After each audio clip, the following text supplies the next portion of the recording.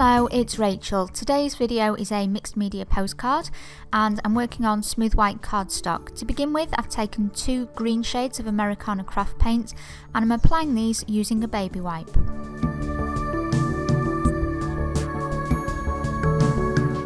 Now I'm starting to build up my background, I've taken a Tim Holtz stamp of scratches and I'm adding this randomly with an archival ink in potting soil. Once I've done this, I take a Crafter's Workshop stencil of a damask and apply this with some olive green archival ink.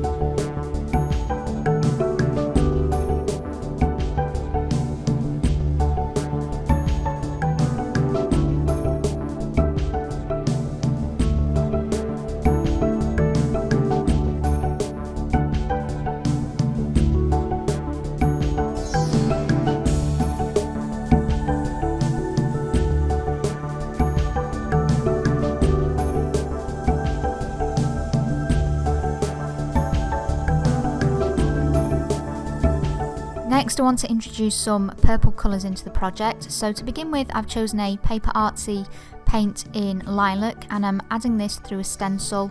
This is a Tim Holtz mini stencil and I'm using a piece of Ranger cut and dry foam. Once I've done this I go over these circles with another shade of Paper Artsy paint, this time in Cheesecake which is a cream colour and I move the stencil slightly so that you can see both the purple shade and the cream shade.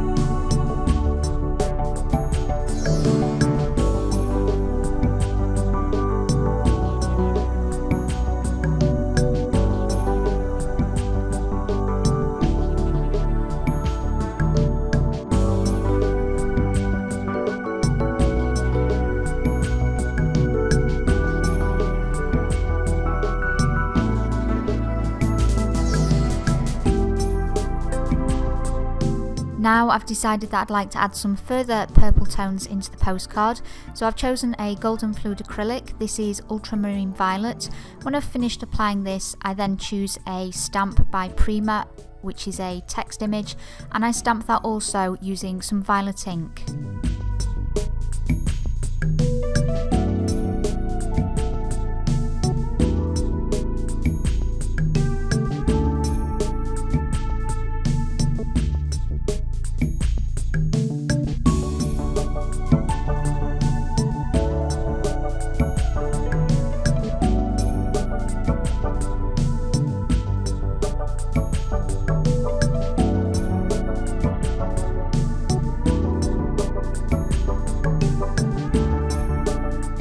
Next I'm going to add some torn pieces of patterned paper. This particular one has a weathered text image on it. I'm edging this first with some of the Violet Archival ink and then I'm going to apply this using some soft gel medium.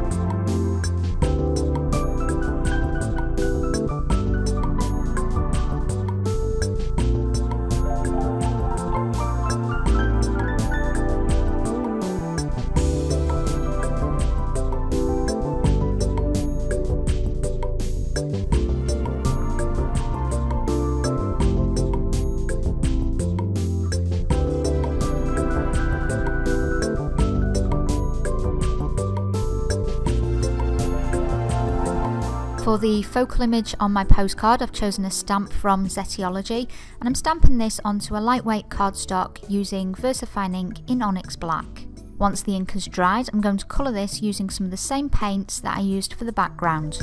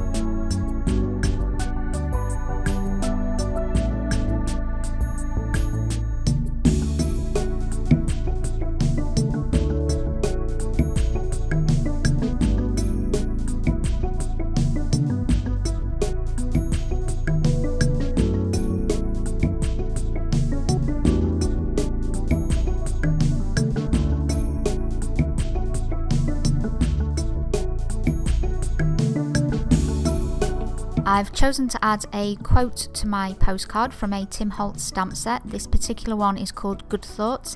Again, I'm stamping onto a lightweight cardstock using VersaFine ink in Onyx Black.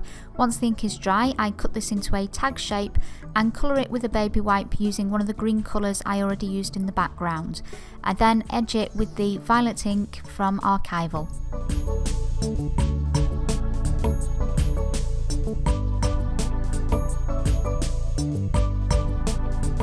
Here I'm applying some different washi tapes that I've chosen to match the colours that I've used on the page. I'm applying them in different places just to add some more interest to the postcard.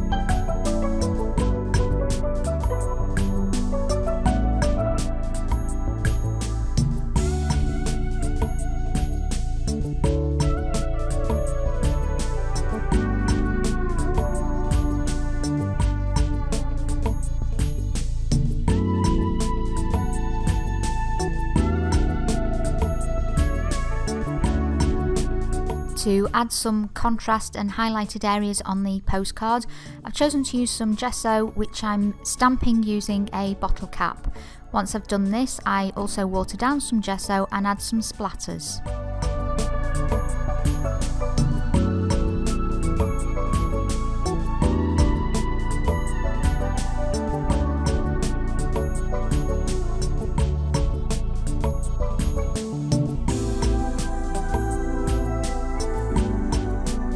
The final step now is to edge my postcard. For this I'm using a piece of Ranger cut and dry foam and the violet archival ink.